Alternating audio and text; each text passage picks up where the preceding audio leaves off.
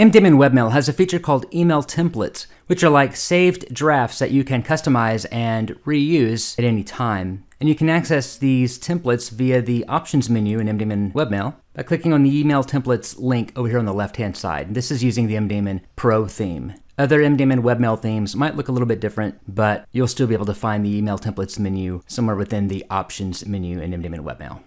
So with email templates, you can create any number of drafts that can be reused or repurposed when composing a new email message. And as you can see, I have two of them here. One of them, for example, being demo inquiry response, one of them being print materials request reply. But you can see, you can specify the draft that you'd like to save as a template.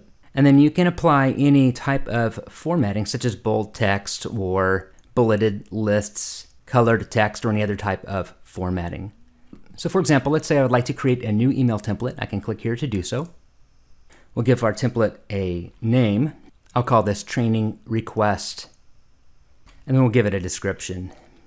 And then down here in the body, simply type out the body that you'd like to save as a template. And then click on save to save your template.